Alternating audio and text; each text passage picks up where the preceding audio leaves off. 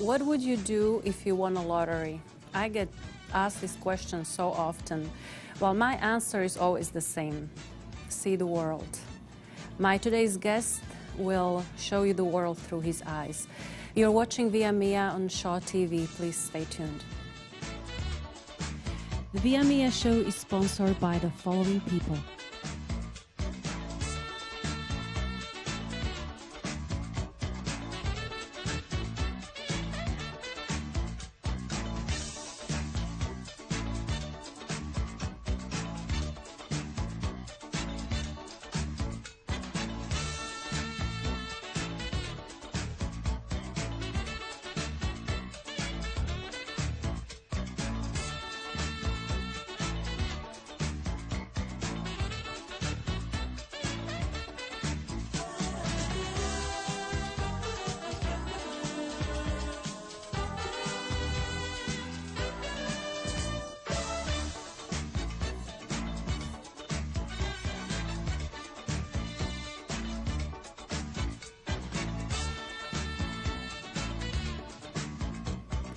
Well, the finishing, uh, what I just started to say would sound like this. I would like to welcome photojournalist Robert Leon.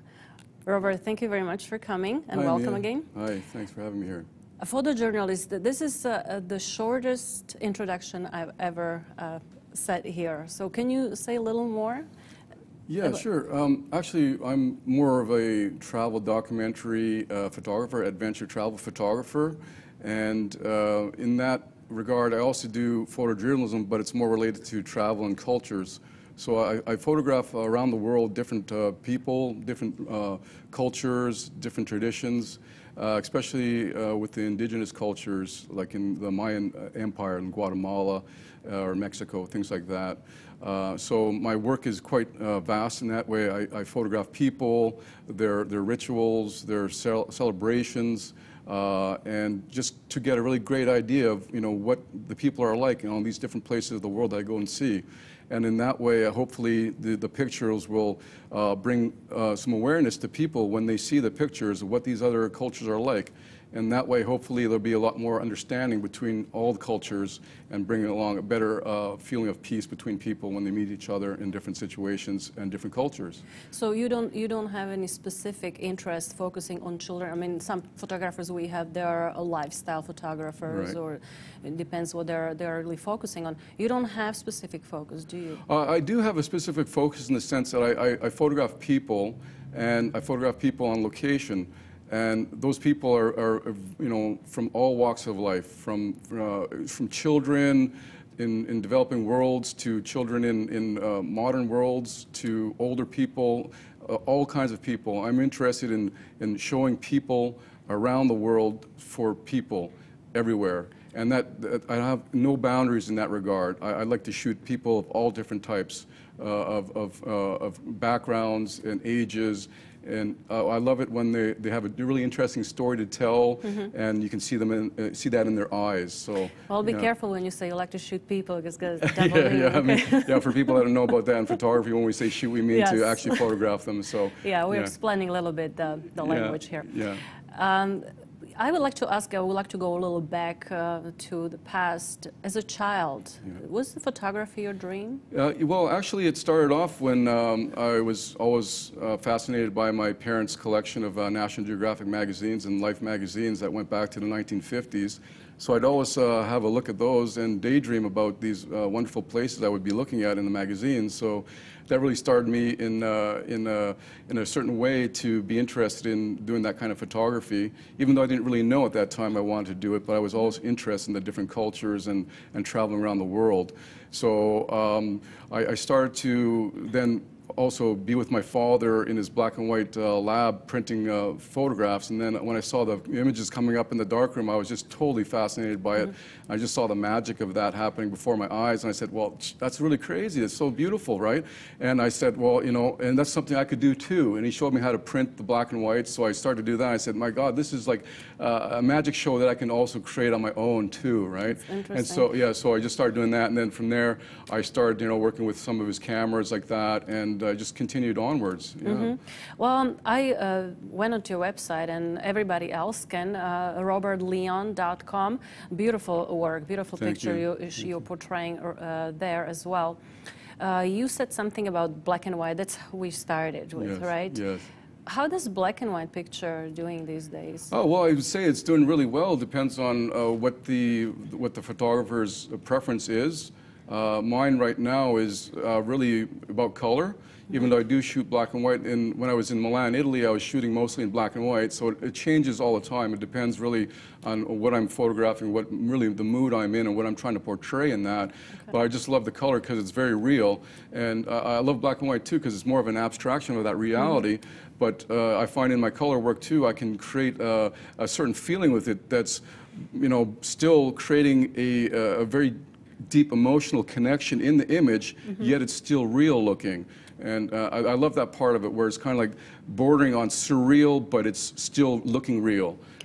Is it, is it still a demand for black and white? I mean, you have lots of clients, obviously. Yes, yeah, it depends on the, on the job really. Sometimes, uh, you know, and depends on what the what the preference is of the photographer, like I said.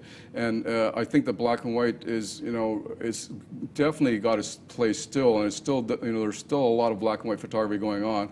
And the nice thing now is when we're shooting digital, which I'm shooting pretty much all digital now. Once in a while, I'll shoot some film, but most of the time afterwards, you know, we can always convert it into black and white. And there's a lot of uh, beautiful technology that we have now to to play with that it's absolutely incredible what we can do with the you know digital image to turn into black and white. Although some old school photographers like myself, I'm actually con- consider myself an old school photographer. Uh, you know, we say, well, you can get a certain look out of a certain type of film and all that. That is true too. So it really depends on you know what the photographer is trying to do with that medium. And and for myself, like now I said, uh, I love color. I love the, the world in color. I go around, I see the world in color, and I see I go to countries where there's color all over the place, like in Guatemala or in India. It's all about color for me Yeah. personally, right? So I like to capture that and get it real and, and show the colors of the place. And even within that, still have like a, a sense of something that goes beyond a two-dimensionality of that photograph.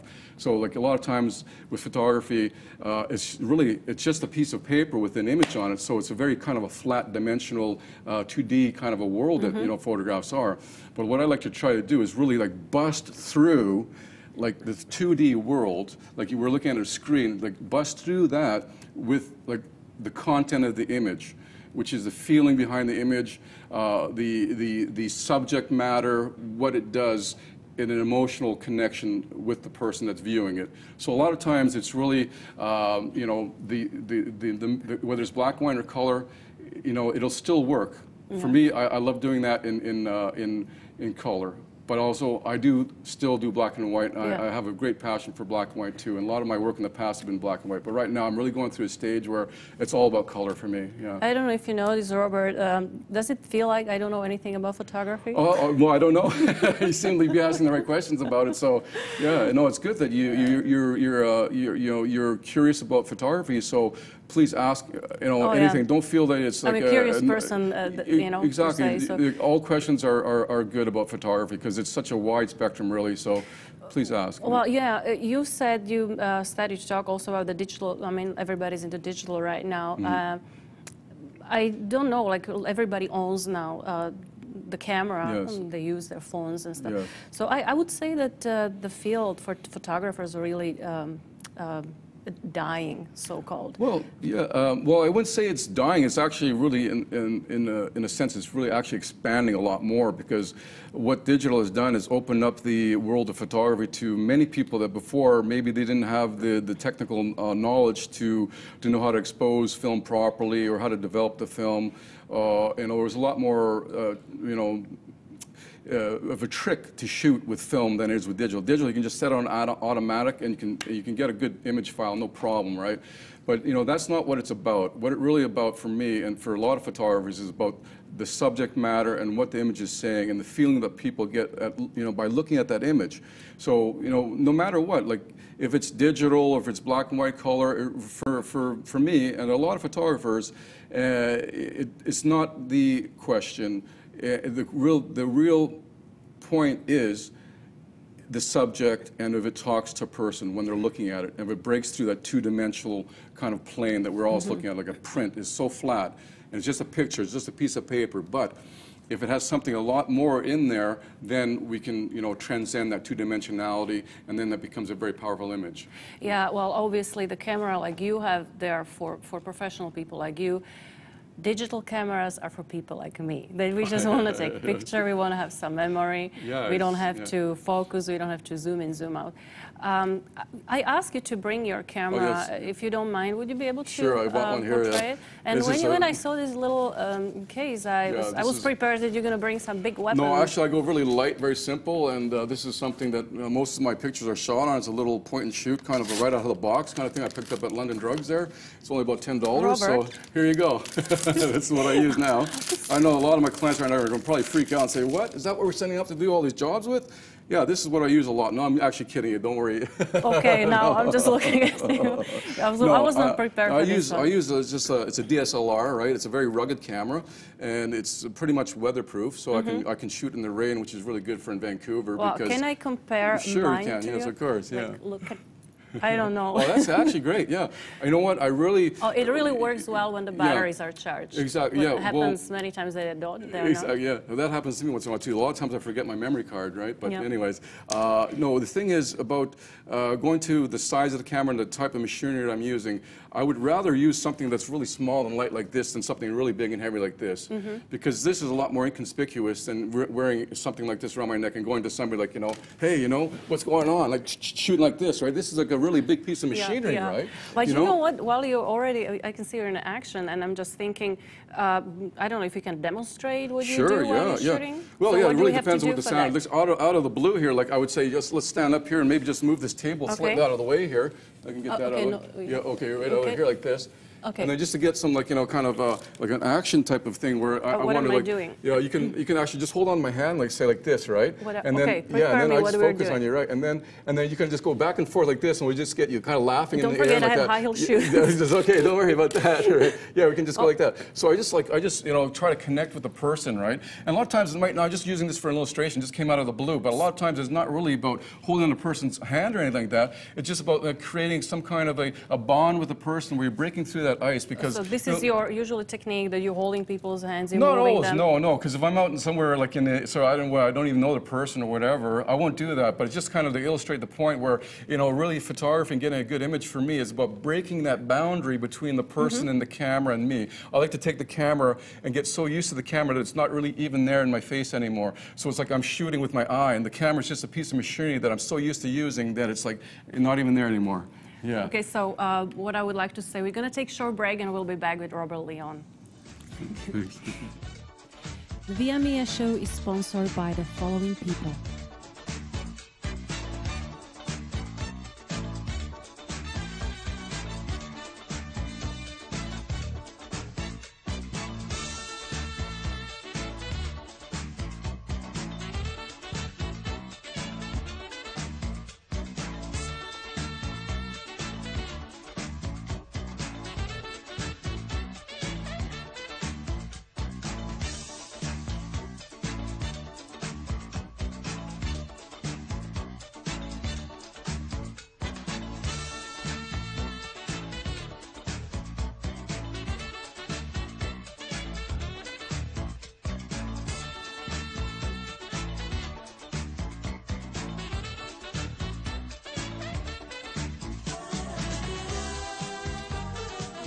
Well, we are back with Robert Leon today on Via Mia. Um, I was not really prepared for the, what you were trying to do here for me because I was just saying that I would bring completely different shoes. Uh, but a really interesting technique what you're using. So um, when we were talking about photography, is anything that move move you forward or anybody is anything improving uh, what you do? Because I have to say, you are one of those lucky ones. They do something for a living, and you love it. Yes. And you know, it's more. I can see it's more passion to you than a job. Yes. So that's that's great that you you know Yes. make a living on something that you like doing it. Yes, well, I would say that really now, um, after doing this for many years, that Uh, I've done like commercial photography, fashion photography in Milan, Italy for nine years there. Um, now it's become more of a mission to do something that's uh, going to benefit the world, right? And right now I'm trying to show uh, cultures around the world and the beauty of the world, including all the people of the world and showing that you know everybody is a soul. Everybody has a soul or an atma. I study also the Vedas with my teacher Jeffrey Armstrong, Kavindra Rishi. Uh, we're so lucky to have him in Vancouver actually. And uh, one of the things that I learned there was uh, that we're all atmas. We all have a soul. And I've always, when I started photography, I've always looked at people as a soul. And that's one thing that uh, I would say that has driven me a lot is just to see everybody as a beautiful soul. And no matter what they're going through, just understand that and know that they're going through a physical experience uh, their soul is in their body going through mm -hmm. a mm-hmm. physical experience and not to judge that right and then to to see the truth in their in their eyes and then that's why a lot of my photographs I, I capture the soul of a person because I am like that too so when I'm like that I receive that from the person also you know and uh, one of the most uh, incredible experiences I had was with a Sadhu I think we have a picture that is going to be shown in a little while but it's about a Sadhu and he was raising his hands up into the air laughing like crazy and uh, I asked him, what is he doing? He's setting, he's setting up his love and joy. There it is. It yeah, right so nice. actually I met the Sadhu in, uh, in uh, Pushkar in India during the Pushkar fair there.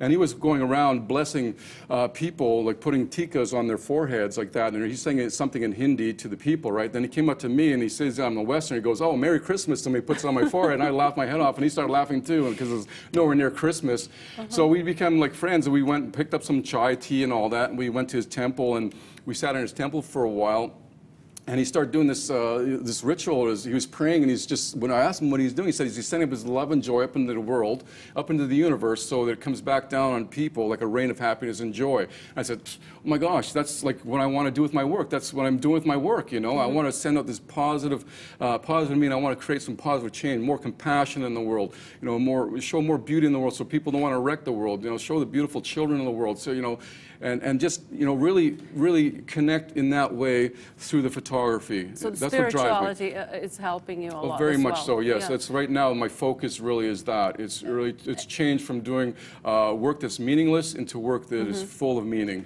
And yeah, well, you, you mentioned Jeffrey Armstrong. Uh, yes. We had a guru here on, yes, on the uh, set. he's so incredible. Yes, it was yes, great uh, listening to him. Um, you said that you have uh, you brought some some uh, graphics, some of your work. Yes. So can we just go through? of course, some I'd love to them? show some of them. Yes, please. So that would be great. So yeah. if we can ask yeah. for some. Okay. Yeah. So what? Do Okay, so this is, uh, uh, this is a Mohawk elder. I uh, photographed a 24-page uh, spread in a, in a uh, Montreal magazine called Clin d'Oeil. And uh, they actually gave me full creative freedom to do whatever I wanted, which is really great, and I really appreciated that. So I wanted to do something more than just a typical fashion shoot, right? So what I did was I did a shoot uh, involving the Mohawk people, and uh, there were some fashion designers there in the Mohawk community, and so I talked with them all, and we put it all, all together shoot. And what it is about is the symbology and the mythology of the Mohawk people. And you know, I was so uh, so happy to be doing this because it was something that I always wanted to do and get more into doing photography about mm -hmm. the mm-hmm. cultures, which is what I'm doing now. So this was actually a transition stage for me from going from the fashion photography into doing cultural documentaries. This is very interesting. I think that was one on one of you on your site. That's on my yeah. website too. Okay. Yes, so yeah. we can go and find it at robertleon.com. The yeah. picture will be among others. Yeah. Uh, what would be the next? Is something similar to that? Yeah. Well, this no, is actually oh, this is, I love this, this is uh, a Lacandon Mayan boy called Pancho. He's nine years old, and uh, we're at the Lacan, uh, Selva Lacanda, which is in Chiapas, Mexico. And Lacandons are the last of about, there's about 350 of them left now of direct descendants of the ancient Mayan Empire. So uh, I went down there twice on uh, two occasions and lived with them in the, uh, in the Lacandon jungle. And on this occasion, we had uh, hiked out to a uh, waterfall, which is probably about three hours from their little village. And this is in heavy-duty forest, right? And you can see, I don't know if you can see in there, but he's got bare feet. And they're going through this, uh, this jungle all in barefoot. And I was going through there with my boots on, my, all, all my equipment and everything. I was just falling all over the place. And he was laughing his head off. And he sneaks underneath this log that had fallen over the path, right? He just goes right underneath, no problem. So I go over the top of the log, of course, and I slip off it because it's very moist, and I slip off. And he starts laughing his head off, right? And I start laughing my head off, too, because it was just like, you know, so much fun.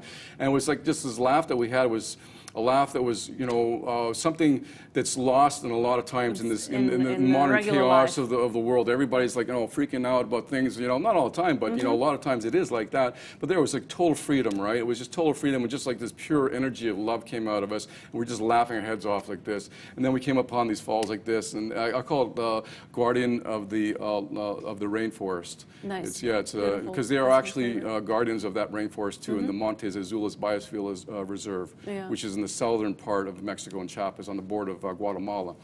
Yeah. Okay, let's take a look at another one. Yeah. Okay. This one here is uh, uh, this is a Greek lady in uh, near the island of Santorini, and uh, it was just a really quick shot on, on going by. I was just going by, and she just looked at me, and I looked at her, and I said, you know, pointing my camera, "Hey, can I take a picture? She said, yeah, like that. And some of her friends joked her, saying something I don't know what it was because I don't understand Greek, and she started cracking up. So I just fired off a frame like that. I had you know, one shot of it, and That's that was it. true happiness coming That was true happiness, and that's Yeah. going back to the spiritual aspect of my photography now is I, I look at this as beauty, right? Actually, one, one time Mm-hmm. Went to a magazine and the art director asked me, what do I shoot as they opened up this page here? And I, sh- I shoot beauty. This for me is beauty because it's the atma, the pure joy of the person coming out and expressing themselves no matter what, no matter how, you know, how, how they're aging and all that. I just hope when I'm, you know, old and my teeth are all falling, I can still laugh like she that. didn't you care. know? She didn't have makeup on. Exactly, yeah. You know, so it's just about that. It's about the beauty of our inner soul. It's mm-hmm. that coming out in joy and, and, and beauty in the world like that. Yeah. For Yeah. sure. Yeah. Yeah. Well, let's Okay. Yeah, this is in Cuba. This is, uh, um, this is a, a shot of um, a lady in her house, actually, with a fri- refrigerator. And the refrigerator, to me, symbolizes the cold, uh, cold uh, kind of um, um, Cuban Revolution era. And then you have the saint, a statue of a saint sitting beside her here. And it's like, for me, it's like uh, a, sym- a symbology of, you know, the cold reality of their existence in Cuba with this fridge and then their spiritual, you know, hope to, you know, eventually someday be helped out or to go into another realm where there's going to be a lot more, uh, you know, happiness for them. So it's like kind of like uh, between two worlds, between the real uh, earthly plane and then the spiritual plane here. Yeah. Okay. And what would be the next? Okay, and this is, yeah, this is also in Cuba too here. I call this children of the embargo because as we all know, there, there's still an embargo going on in Cuba. And uh, unfortunately, most of the people that are getting hurt by it are, are all the innocent people, like the children. So um, th this is something that uh, if you look closely in her eyes, you can see there's, I, you know. I just want to say, if I can say, like you almost see the world through through those eyes. That's right. Yeah, exactly right. You know, so there's a lot in the eyes, right? And I always, you know, somehow there's something in the eyes that always speaks, and it's just something that happens, That's like a lot of times. of our soul. Exactly. Yes. You know, and then and this is one thing that you know, leads me to say that you know a lot of the work I'm doing is to really show uh, you know also the positive aspects of our Earth and the people, so that way our children can also have a lot of uh, like you know optimism about what's going on in the world too. As when I was a kid, I was inspired by like magazines like National Geographic and Life magazines, and I saw a lot of beauty in those those images. And so now I'm kind of gone full circle, and as an adult. I am showing that to the children now too, because that's what inspired me in my life to, to go around to see the world. Because there's so much beauty in the world, there's so many great things in the world to see, and I want to show that to people and say, like, why do we want to mess up this world? It's so beautiful, you know. Let's respect all the forests, you know. Let's respect each other, and you know, and honor each other, and, and honor the beauty of each other, you know, from the soul to the soul. So now tell me, uh, does your your job brought you to this thinking, or was it Jeffrey?